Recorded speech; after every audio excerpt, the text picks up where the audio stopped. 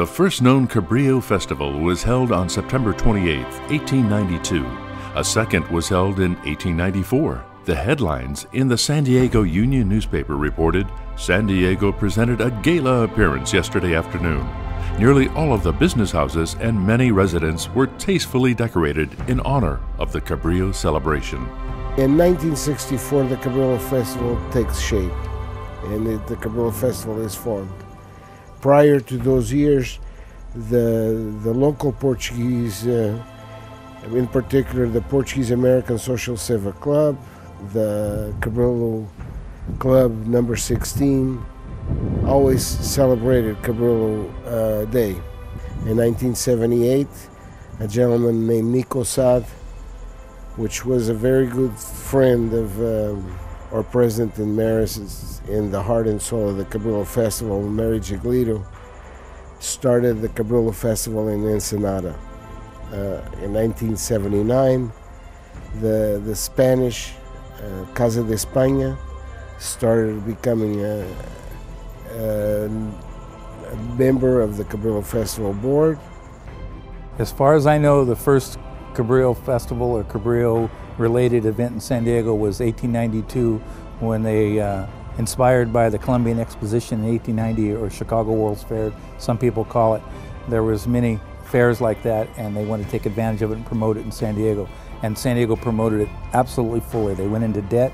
They had fully a third of the entire population of the city, which would be over half a million nowadays uh, actually go down to the end of Broadway, which was then called D Street, to attend it.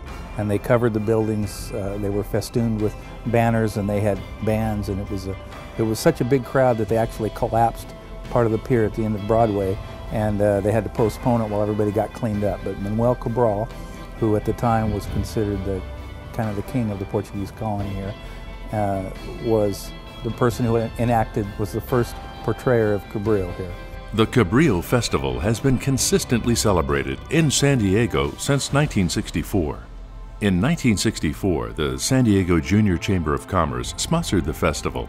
Prior to the formalization of the committee as we know it today, the Portuguese community, under the leadership of the Portuguese American Social and Civic Club and the Cabrillo Civic Club number 16, used to celebrate it on September 28th. Then in 1964, Cabrillo Festival Inc started. We started on uh, having our reenactment on Shelter Island, and that went all the way through until 2004. Then from there, we moved up to Cabrillo National Monument and had a lovely festival from 88 until about 2004. And after that, we had uh, some connections with um, the United States Navy and negotiated to actually have the festival on the Naval Base Point Loma, and we've been there since 2005. Uh, lovely access to uh, Naval Base, which doesn't usually happen. From the beginning, the Cabrillo Festival was the creation of the Portuguese community with the strong support of the National Park Service staff at the Cabrillo National Monument under the leadership of Tom Tucker and the Cabrillo Historical Association. Got involved with the uh, Cabrillo National Monument Foundation. I'm the current chair. And the reason uh, I did that was because of the people before us. Uh, that were involved and were responsible for bringing the Cabrillo uh, statue to San Diego and setting up the story here at the park. Uh, Dutild Varley, who was, who was a, uh, a, a local, uh, actually born in San Diego, went to live back in the Azores and Pico, and then her parents immigrated back to San Diego again. So we've got a lot of rich history here that I try to embrace and continue to celebrate and be part of it. That's what 50 years of Cabrillo does for me our heritage, our traditions? Uh, the festival uh, has, has somewhat been challenging. I, my predecessor, the previous superintendent, uh, finally took the festival outside the park grounds and, and then really the efforts of the community and, and of Cabrillo Festival, they uh, worked with the Navy to use uh, Ballast Point It involves four nations Portugal, because Joao Rodrigues Cabrillo was Portuguese, Spain, because he was sailing for the Kingdom of Spain, Mexico, because he also stopped in Mexico on September 17, 1542, and the United States, because it was the newly discovered country. Native Americans were also involved in the festival, as they were the first people Cabrillo encountered. In 1978, Nico Saad of Ensenada was appointed as representative to the government of Mexico. In 1979, Spain was represented for the first time by Casa de España, a local organization. We try to work closely together and uh, make the festival a success. We offer paellas besides the, the dances. And I think that it's so silly at this point to start fighting. In fact, part of the reason when I came on the board was because there's been a couple of articles in the local newspaper, one in favor of Cabrillo being Spaniard, and another one saying, no, Cabrillo is Portuguese. And so, kind of the two groups went public fighting with each other and saying, Cabrillo is one of ours. And I'm saying, why not say that it belongs to both? The festival consists of a historic seminar, a commemorative wreath laying, a banquet, an all day festival at Naval Base Point Loma featuring foods, music, and dancing of the nations involved. Also, a reenactment of Cabrillo's historic landing on San Diego Bay. Weekend before uh, the Cabrillo Festival, and then the weekend after is the Miramar uh, open house where they the air show and the Blue Angels. So this is sandwiched right in the middle. So timing wise, it couldn't it, it couldn't have worked out even better. And plus the uh, the San Salvador is going to be the uh, the vessel that is going to be used uh, on Ballast Point for uh, Cabrillo when he comes to shore. So uh, everybody's excited about that as well. And then we'll have the the Cabrillo Festival coming up that next weekend. So we'll be on TV and pushing that on all local TV and radio. Outside the County of San Diego, City of San Diego, uh, and this year in particular, a very strong donor, Toyota. It's been 95% financed by the Portuguese. The fact is that without the Portuguese, the Cabrillo Festival would never have been happened. Cabrillo would probably would never been as recognized as it is today. The Cabrillo Festival is unique because of its ethnic celebration that has been recognized by three presidents of the United States Nixon, Carter, and Reagan. It involves four nations standing side by side with no walls, no barriers. The Cabrillo Festival has had the support along the years with the military. The Portuguese military has been uh, marked their presence to the Cabrillo Festival and having a scholarship for the Queen. And they really has been probably the connection of the Portuguese connection to our festival. It's the most important connection that we've had along the years. Here locally, we have the military connection and support, which is the submarine base. Uh, the base is not open any part of the year, but just for the Cabrillo Festival. The late Cabrillo Festival Incorporated president, Emerita Mary Rosa Giglito, was the heart and soul of the festival since the 1960s.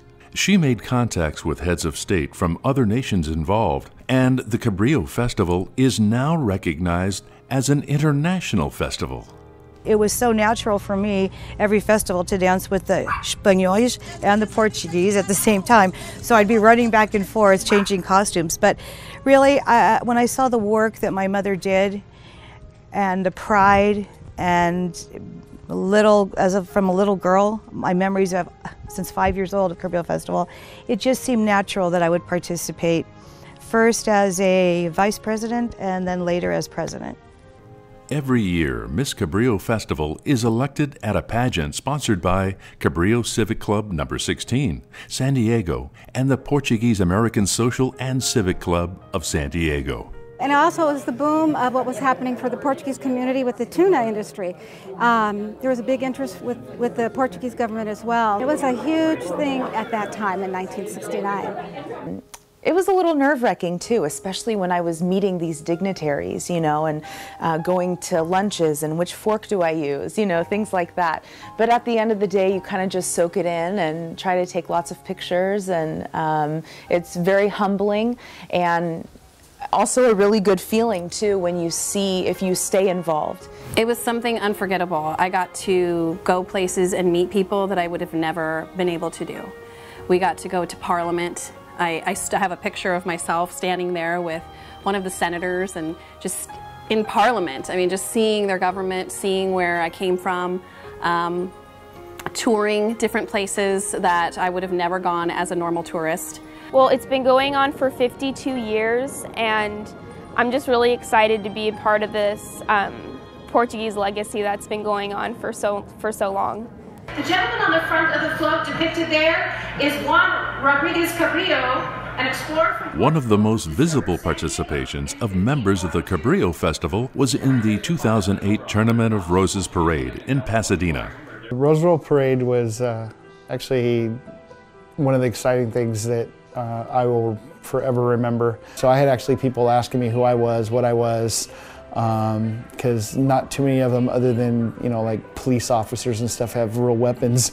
And I was walking around with a real, a real sword and going actually in the parade and, and uh, turning that corner. They call it the TV corner and seeing you know the thousands of people in the stands and then just laughing when after we passed the cameras that our float broke down in 1939, the Portuguese government commissioned a heroic statue of Cabrillo and donated it to the United States. In the 1940s, the original statue moved on to San Diego. As time rolled on, the statue started to deteriorate, and in the 80s, it was replaced with the current one that also came from Portugal, and it can be seen in the Cabrillo National Monument. San Diego uh, was discovered in 1542.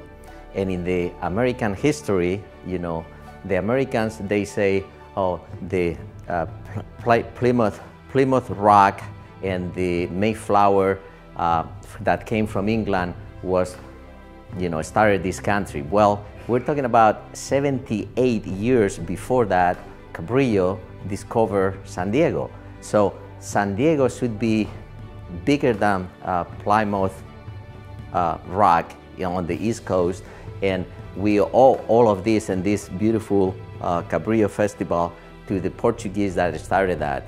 Long, long before the Pilgrims were setting foot on the rock uh, in Plymouth. So it's remarkable the extent of the navigational knowledge, the, uh, the sophistication of the charts, and the ability for uh, Portuguese to explore just huge swaths of the, uh, uh, the world. It was, it's really quite inspiring. It's a fascinating story to uh, delve into.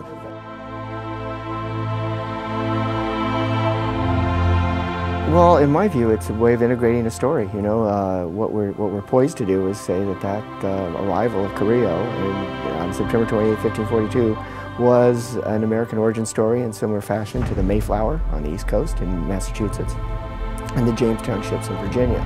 So over the years, that story, and particularly its reenactment, has continued to be at the forefront of our iconography and our understanding of who we are and where we came from. In moving forward, the goal of the festival is to research in depth Joao Rodrigues Cabrillo's identity and to expand at a state level.